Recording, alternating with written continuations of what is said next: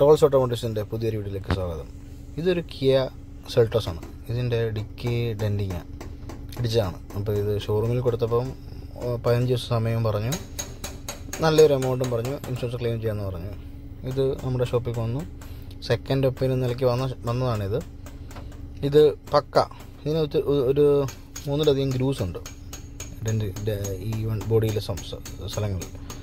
ആ ഗ്രൂസ് എല്ലാം അടിച്ചു എടുത്ത് ലെവലാക്കി പക്ക പെയിന്റ് ചെയ്ത് ഫിനിഷിങ് ചെയ്തു.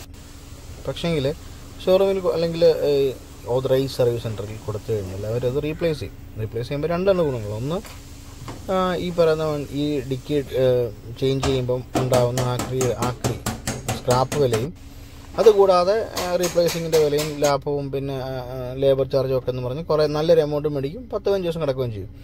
എങ്കിലും ഇങ്ങനെ നല്ല വൃത്തിയായിട്ട് വർക്ക് ചെയ്തെന്ന് പറഞ്ഞാലും നമ്മൾ ലോക്കൽ വർക്ക്ഷോപ്പ് എന്ന രീതിയിലാണ് അറിയപ്പെടുന്നത്.